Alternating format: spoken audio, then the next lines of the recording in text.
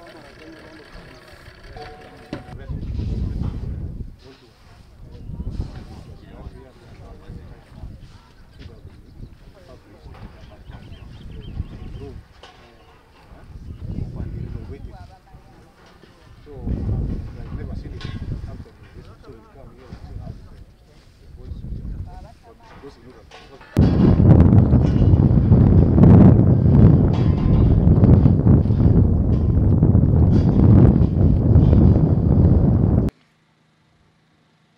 Excellency, the President and the Commander in Chief of the Armed Forces,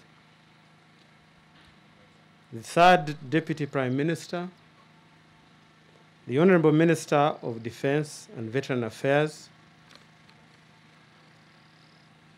uh, generals present here, the Commander Marine Brigade, senior officers, the local leaders, ladies and gentlemen, good afternoon. Sir, on behalf of the Chief of Defense Forces, I would like to congratulate the Marine Brigade Commander, Brigadier Michael Nyarwa, and his team for their tireless efforts in building and expanding the capacity and the capabilities of the Marine Brigade. Your Excellency, in your inaugural speech on the 29th of January 1986, you said no one should think that what is happening today is mere change of is a mere change of guards, but a fundamental change. The fundamental change, sir, in the military perspective, was to professionalize the army in a well-trained, disciplined, and equipped force. The UPDF today witnessed a significant development in its unwavering commitment of enhancing our capacity and capabilities for the efficient and effective attainment of the UPDF's uh, constitutional mandate and mission. This, in line, this is in line with one of the CDF's strategic priorities of capacity enhancement that involves acquisition, refurbishment, and maintenance of our military equipment. This deliberate effort for the maritime capability enhancement will enable the Marines Brigade to secure our waters, conduct search and rescue operations, and protect high profile targets such as wagon ferries, cargo ships, fuel tankers effectively and efficiently. We commend the Marine Brigade for fostering expansion with the requisite enablers and the equipment for facilitating capacity building efforts.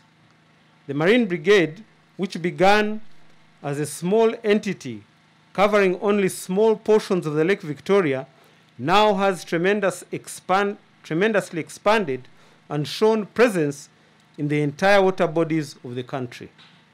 Your Excellency, we have confidence that this marine base will serve not only as a facility for vessel testing, but also training and aimed at aligning skills for sustaining vital assets and safeguarding equipment in the support of the search and rescue operations and ensuring navigational security to promote commerce between Uganda, Tanzania, and Kenya. Your Excellency, we recognize your great leadership and the strategic guidance you have given to the UPDF towards professionalizing the force and building of a strong cadre leadership. The Commander Marine Brigade has ably ex exhibited that cadreship trait and successfully superintended over the expansion of this marine capability. Let me also take this opportunity to applaud the Ministry of Defense leadership for providing a funding line to make this capability a reality. I also want to recognize the great efforts by the Engineering Brigade who constructed the pier.